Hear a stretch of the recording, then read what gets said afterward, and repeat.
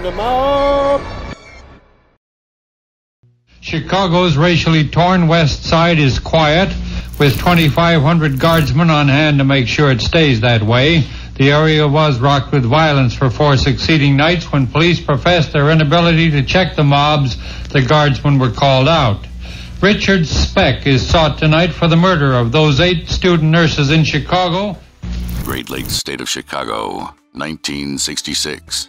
Eight nursing students brutally assaulted a deranged madman in one horrible and unforgettable night that will haunt your mind for the rest of your life.